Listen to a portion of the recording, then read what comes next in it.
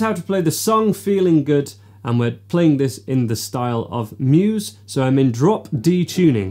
So the E string is tuned down to the D note, uh, but the first chord that's played, uh, the first notes that I heard, is a G minor chord. And we could play that just by using a D minor chord shape, but with the first finger up at the 6th fret, middle finger at 7th, third finger at 8th. I'm plucking that with my first three fingers all plucking into the hand like this, very lightly. And then the bass would play.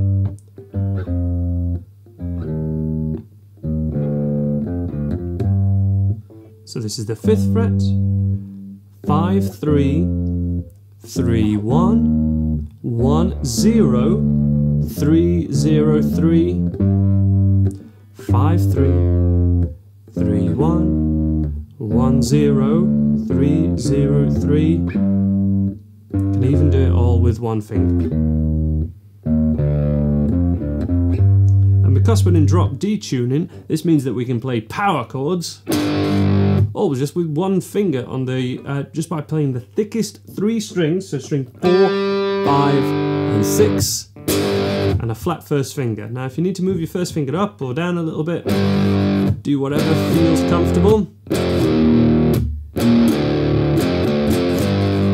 This is perfect training to be able to play power chords and bar chords um, which this could be uh, a song where a lot of people can't quite play bar, chords or anything yet. So this is really great training. You could also do this with your middle finger or your third finger. It really doesn't matter, but um, I would recommend trying it with your first finger for those of you that haven't got bar chords mastered yet because it just works on building this muscle between our thumb and our first finger and that's the one that we need to get our bar chord strength out using the same moves basically. Once that's happened a few times we play this variation which goes like this.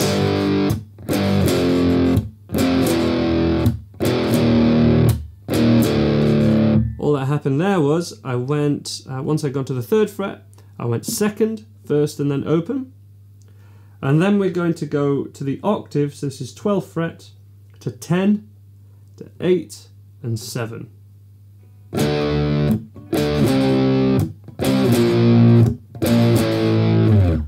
Still played in the same fashion, still with the same rhythm. Here's what it sounds like all together.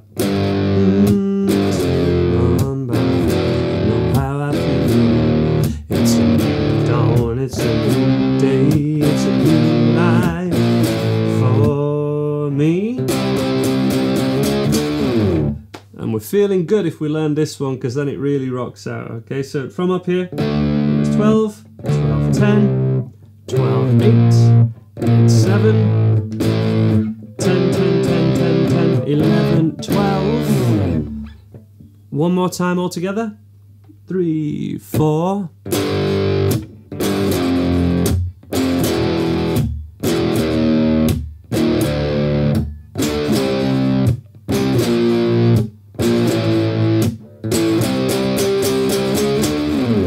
Back to the main riff.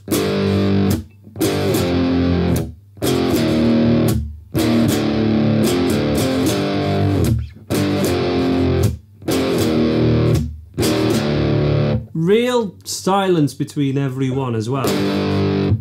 So we're muting with the outside of the palm of our hand, and how long you do that silence for is all part of the riff.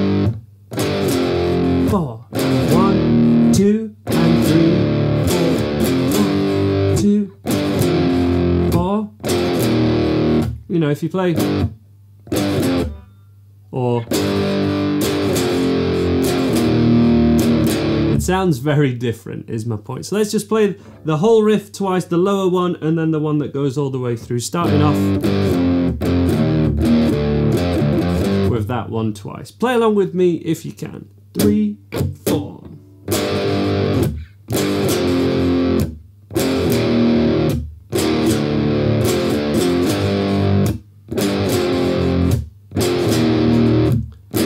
Variation. Here we go.